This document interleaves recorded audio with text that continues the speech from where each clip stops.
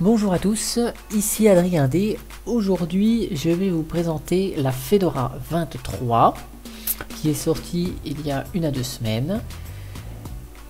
Et pour cette vidéo, comme d'habitude, j'ai choisi de prendre Fedora en version KDE, c'est-à-dire Plasma. Donc par défaut, en fait, hein, si on va sur le site de Fedora, on se rend compte que euh, seule la version Workstation est disponible qui embarque GNOME 3.18.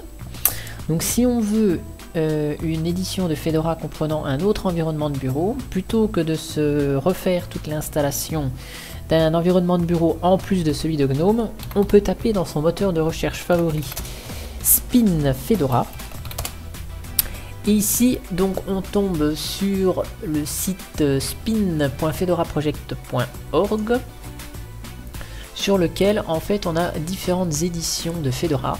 Ici avec KDE Plasma Desktop, donc un Plasma 5 que je vais vous montrer donc de ce pas, XFCE Desktop en version 4.12 et l'XDE. On a aussi une édition Mate Desktop avec les effets de bureau Compiz Cinnamon Desktop avec un Cinnamon 2.8 et SOAS Desktop dont je ne connais pas cet environnement de bureau. Donc sans plus attendre, hop, je démarre la machine virtuelle et je passe en plein écran. Donc juste avant d'enregistrer cette vidéo, j'ai fait la mise à jour de Fedora. Donc il devrait peut-être pas y avoir énormément de mise à jour. Donc l'écran de chargement classique de Fedora.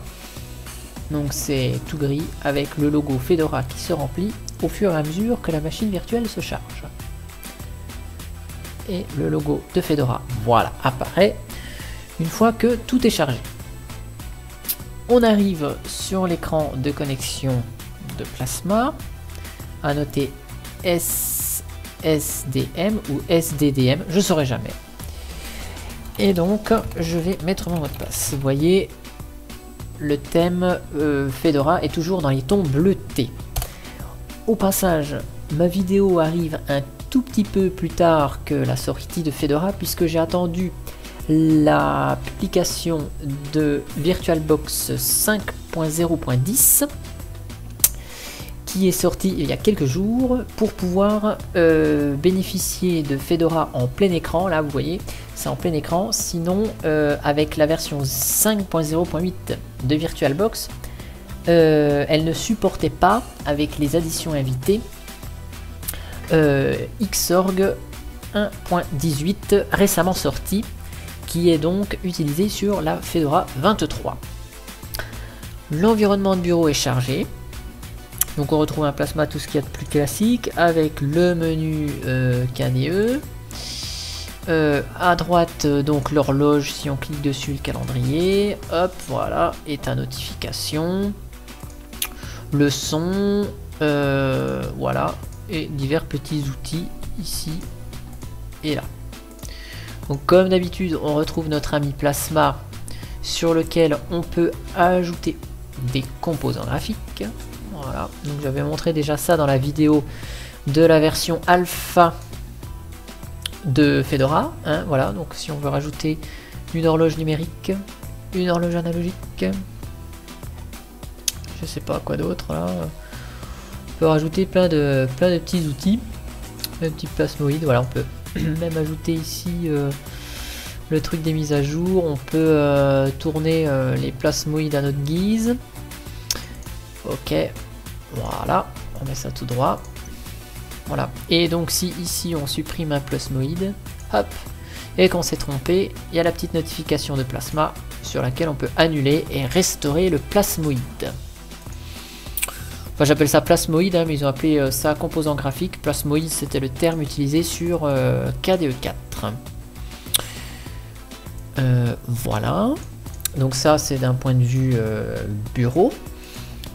Je vais lancer donc vite fait K6guard pour voir vite fait euh, la quantité de mémoire utilisée par Plasma 5. Donc on est à 750 euh, MO de RAM. Euh, bon, j'ai ajouté quelques plasmoïdes et on a sans doute quelques tâches de mise à jour qui tournent en fond.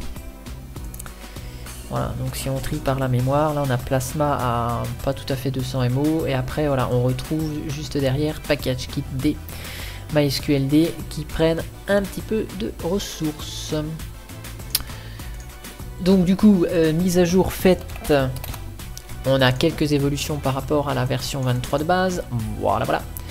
Donc ici, on retrouve KDE Plasma 5.4.3 avec un Qt 550 et le noyau 425. Voilà, donc euh, tout ça, c'est du récent. Au niveau logiciel, hop là, voilà. Donc au niveau de la bureautique, on retrouve dans l'édition KDE la suite bureautique KDE, c'est-à-dire Calligra. Donc je vais vous montrer vite fait tout à l'heure comment on peut désinstaller éventuellement Calligra et installer euh, LibreOffice. Sinon, le logiciel de mail, on a Kmail. Euh, voilà, donc ça c'est pour la bureautique. Configuration, j'y viendrai juste après. Développement, donc on a un petit outil euh, Qt5. Graphisme, donc on retrouve Ocular pour les documents, GWLN View pour euh, l'afficheur d'image, la visionneuse d'image. On n'a pas GIMP, voilà, hein, puisqu'on a tous les outils KDE. Euh, hop, continuons. Donc dans les jeux, on retrouve les jeux de cartes traditionnels, jeux de réussite avec K Patience et deux, trois petits euh, jeux voilà, de Mahjong et le démineur. Au niveau internet, donc on retrouve tous les logiciels KDE, Conversation pour IRC, Catorrent pour le client. Euh, on retrouve donc Conqueror, le navigateur web, et Firefox est quand même installé par défaut en application. Multimédia, on retrouve donc K3B pour graver les disques, Amarok pour le lecteur audio, Dragon Player pour la vidéo, au niveau du système. Donc on retrouve tous les petits outils qui vont bien, gestionnaire de partition KDE, le Live USB Creator de Fedora pour créer des clés USB bootables. Euh, voilà, euh, le terminal, Cassis Guard, bon bref. Et puis euh, dans les utilitaires, on retrouve les petits outils sympas. Ben, la calculatrice, KWrite pour l'éditeur de texte, KGPG pour le chiffrement, l'outil d'archivage ARC, voilà, voilà, voilà. Pour installer des logiciels, nous avons, hop là, le gestionnaire de logiciels Apper. Euh, qui est intégré aussi avec un petit petite extension ici pour vérifier les mises à jour. Voilà, je vais vous montrer ça vite fait. Donc ici software updates et on peut donc directement vérifier les mises à jour. Donc vous remarquez que le plasmoïde c'est la même chose que ce qu'il y a dans la barre de notification. Il s'agit les deux en même temps. Et donc euh, l'applette de, de mise à jour des logiciels de KDE fait appel à Apper, me semble-t-il. Voilà, donc on peut faire direct les mises à jour là-dedans. Donc je vais le laisser travailler. Il va nous dire probablement qu'il n'y a pas ou peu de mises à jour. Puisque je les ai faites juste hier soir.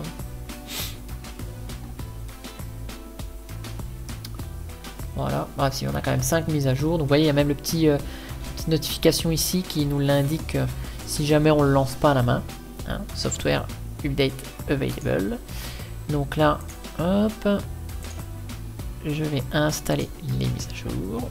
Voilà.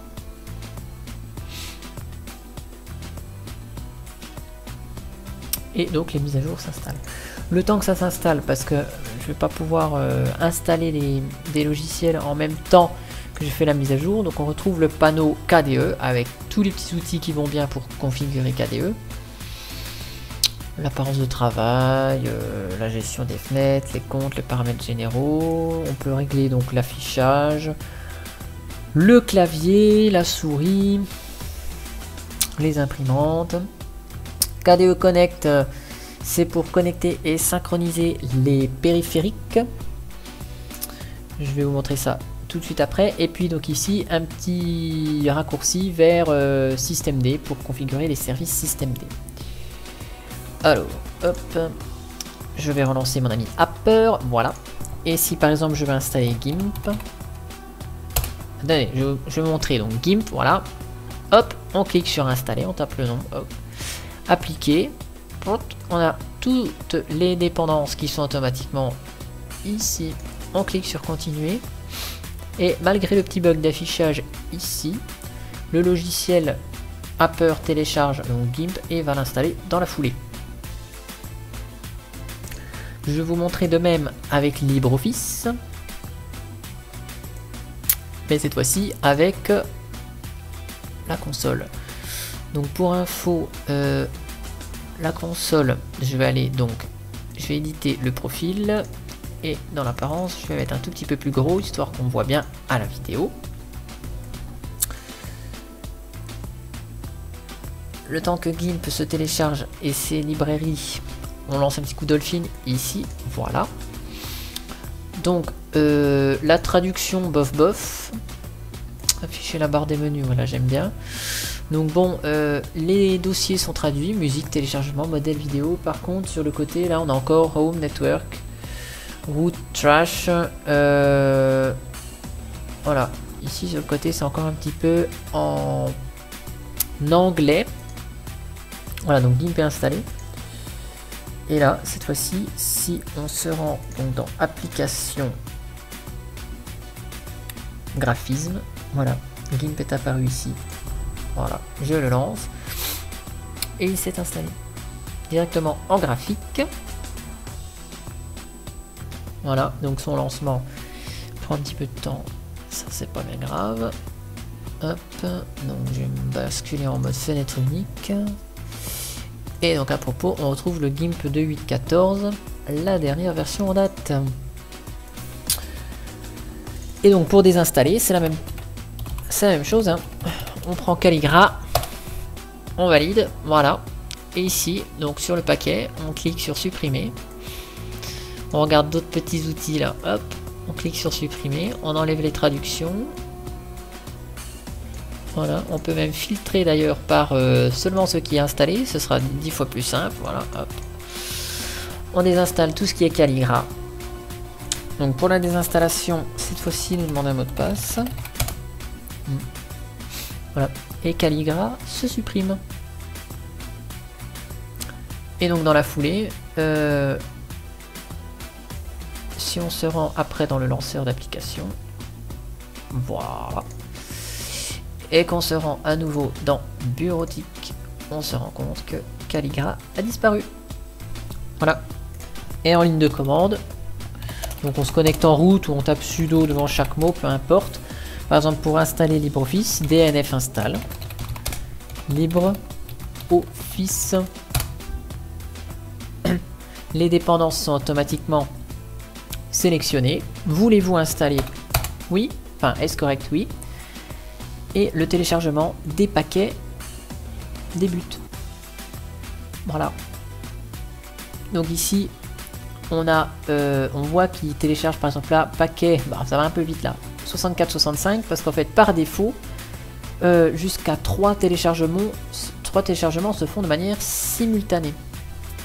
Voilà, voilà. Donc ce qui permet de télécharger un peu plus vite quand même les paquets. Il télécharge 3 par 3.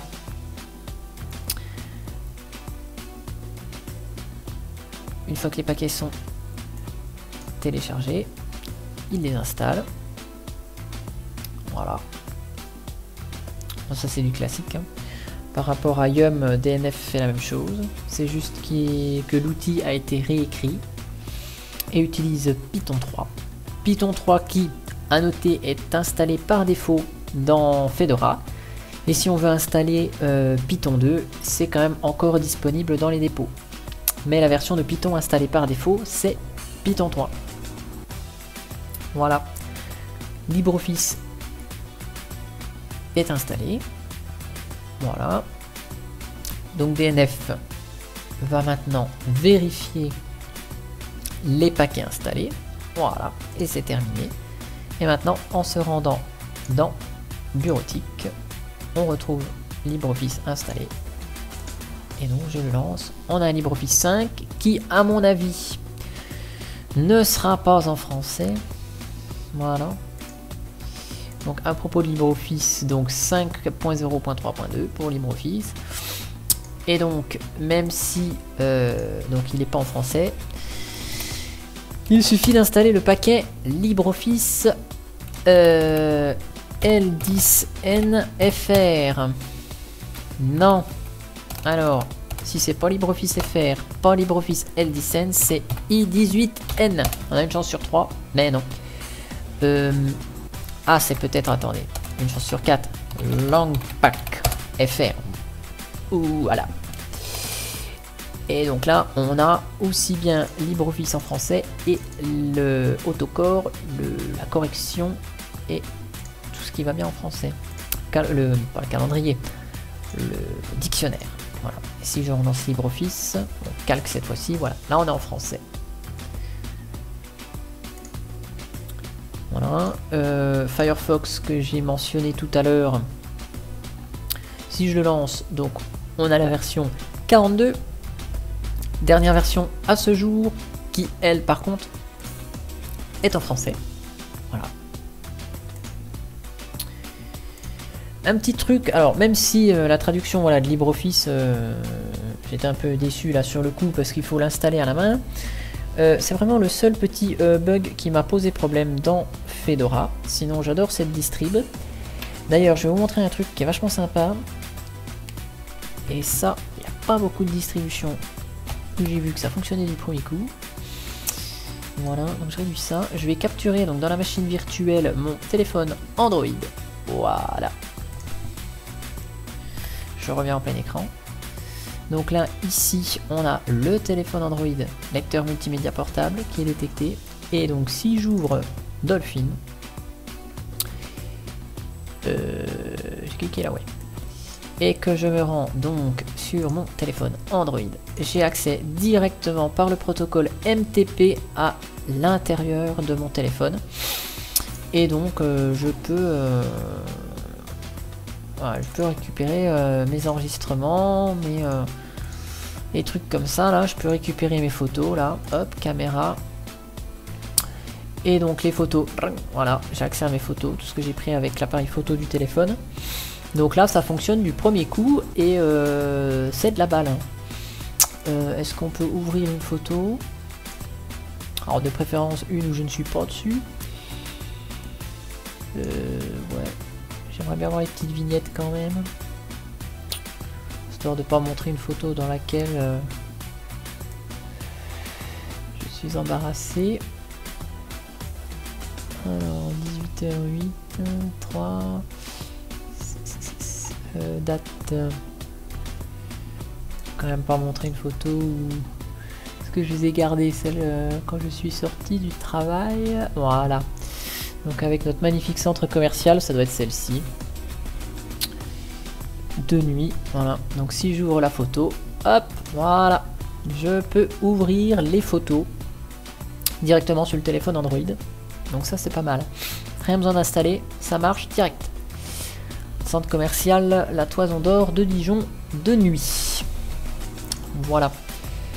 Euh, sinon, un petit truc quand même, si on veut écouter des fichiers MP3, nous n'avons pas par défaut, bah ça tombe bien, j'ai mon téléphone, je vais pouvoir récupérer un morceau. Voilà, donc music, euh, j'ai que ça dedans? Bon, c'est pas grave. Donc je prends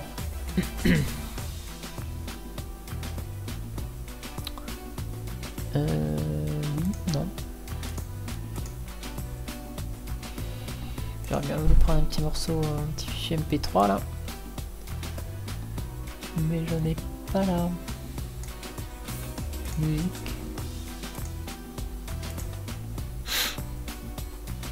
Moi que ma Logitech euh, musique soit vide. Je sais pas, j'écoute pas beaucoup la musique sur le téléphone. Bref, c'est pas bien grave.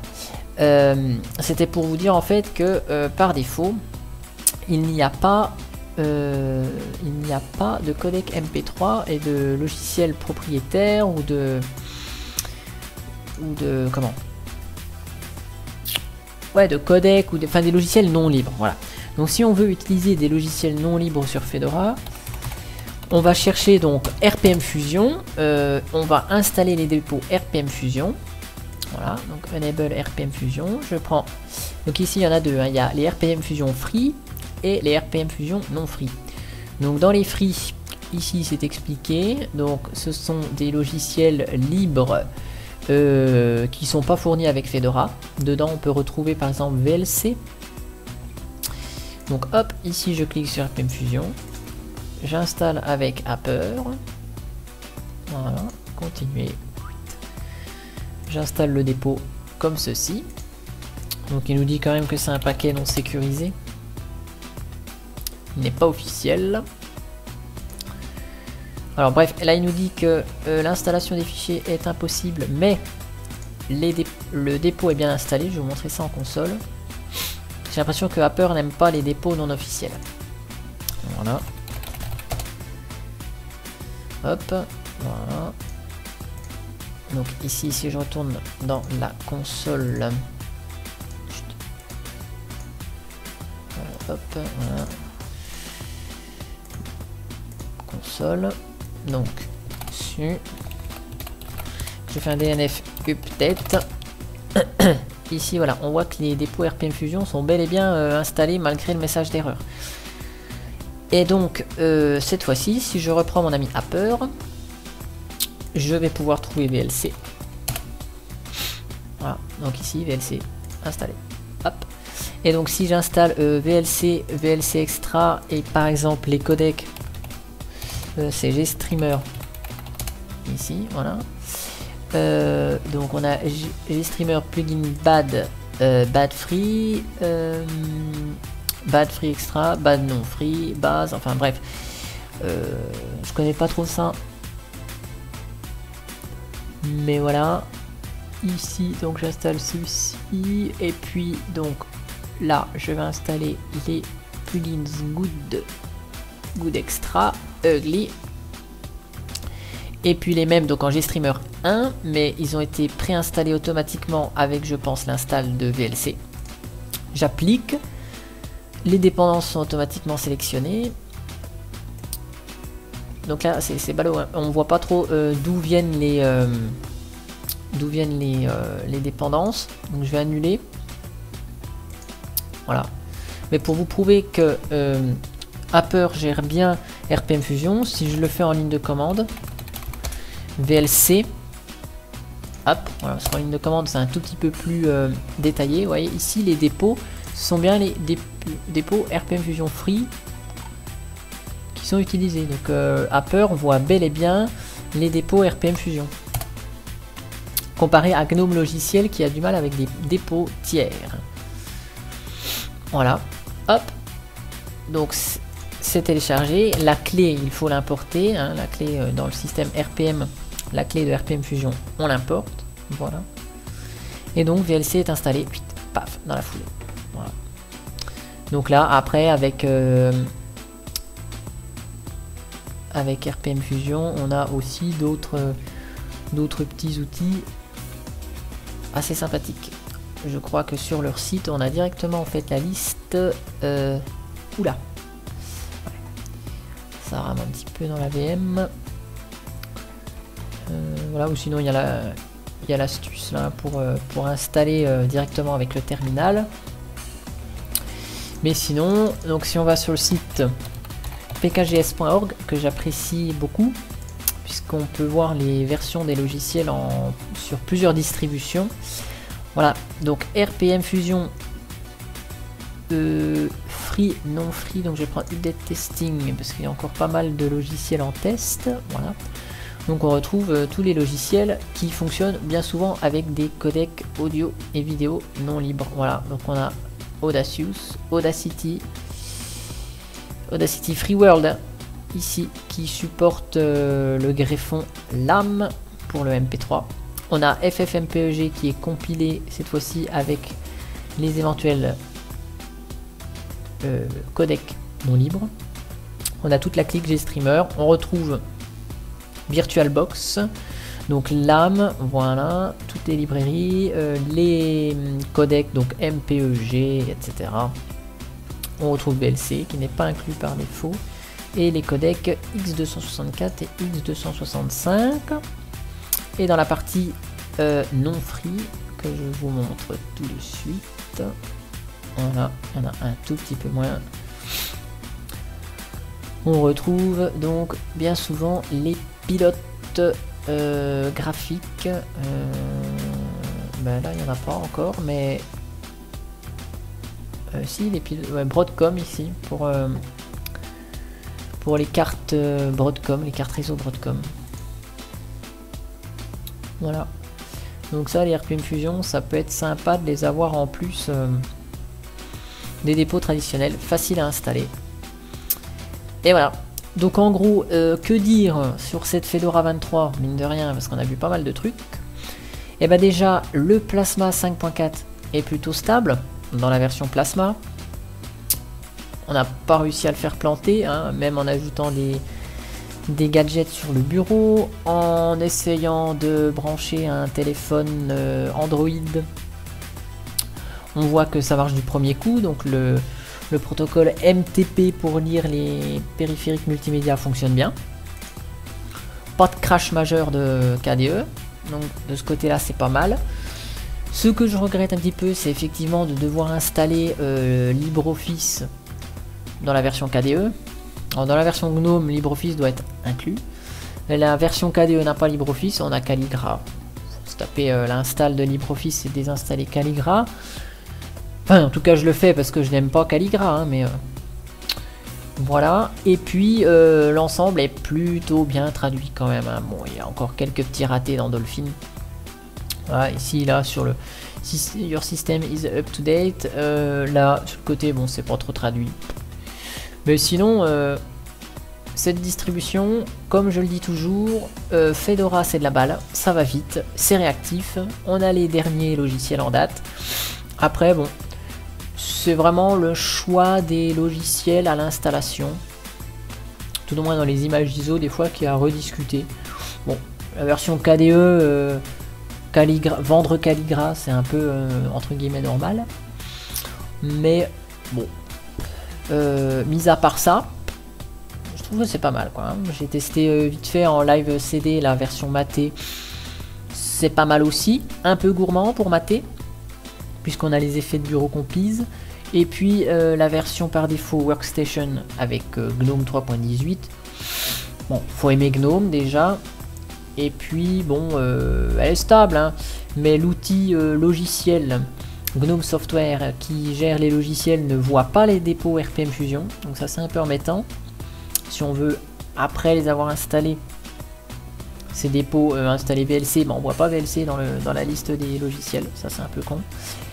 Et puis euh, par défaut, on a tout un tas d'outils qu'on n'a peut-être pas forcément besoin, notamment GNOME Box ou Boxes, euh, le gestionnaire de machines virtuelles de GNOME, qui tourne avec libvirt et du coup le service euh, libvirt est installé et démarré et il est plutôt assez lourd en mémoire.